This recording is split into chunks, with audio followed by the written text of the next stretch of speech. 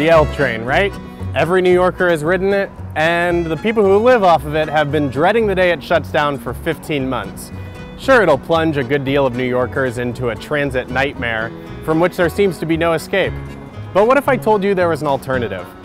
Hi, I'm Granger Willson, and today we're going to be checking out a few different ways to get to Manhattan instead of taking the old L train here. I left out from the city about a week ago. And in my saddlebag I've got a petticoat. The sun is smiling at me, he knows what. You know, feet are kind of like the original trains if you don't think about it. Walking to Manhattan might sound like a tall order, but if you leave two and a half hours early, it shouldn't be a problem. Let's get walking.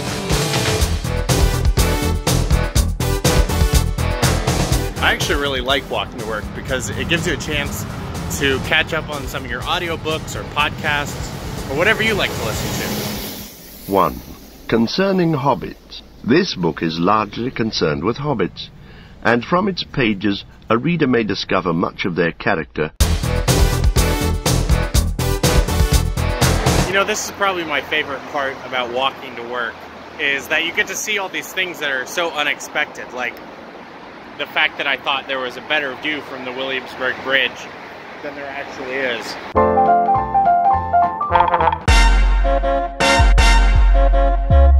Cabs, Ubers, Lyfts, and other taxi services are great. If you get your hands on one, I highly recommend taking one to work. Hey boss, how are you?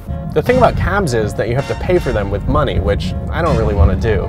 But if you have a company like mine, which will reimburse you for things like cab rides for stupid videos about the L train shutdown, then yeah, by all means, you know, hail that cab, call that Uber, lift that lift, put on some tunes, rock out, sit back, relax. Baby, you're on the highway to heaven. We all talking money, then I never focus meanwhile, but since I'm getting paid. What's up, bro? Yes, I love to skate. Skate or die, right? Well, if I was given the option, I'd probably choose to skate.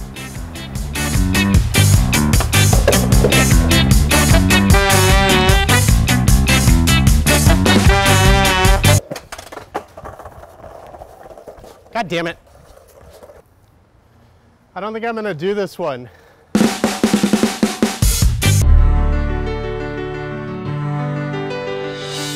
One pretty good way to get across the East River is by taking your boat. I know most people don't have boats, but if you have one, it's a really great way to get across the East River. And if you don't have one, then I'll cut you a really good deal.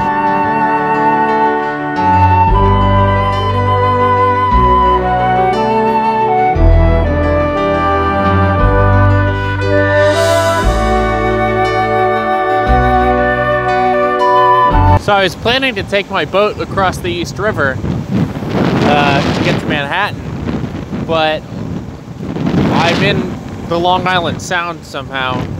So I think I went the wrong direction, and I would say this is not a good way to get to Manhattan when the L train shuts down. So I live in Long Island now, I guess.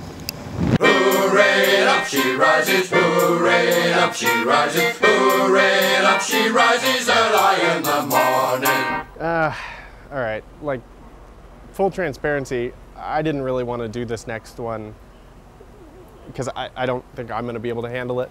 You know, physically, I don't think I'm in good enough shape. Um, I'm going to walk to the J train.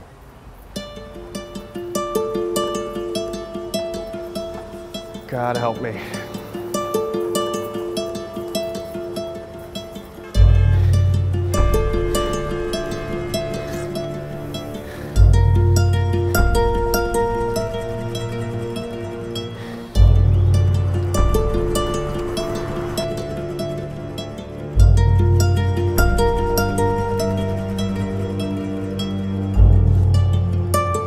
Hey, um, listen, I, you know, we're trying to do this walk into the J train thing, and like, I don't think I can. And I was wondering if you'd be okay with just like cutting this part out of the segment or something.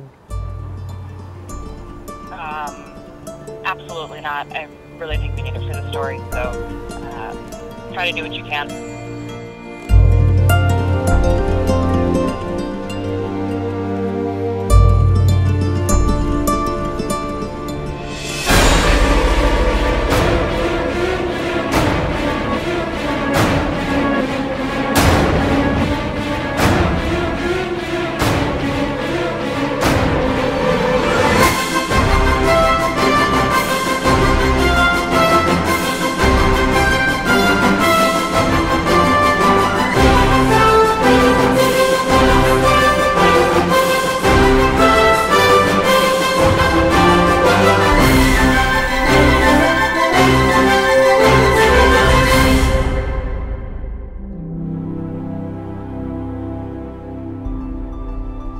You know, the L train shutdown is going to be a shit show. There's there's no denying that.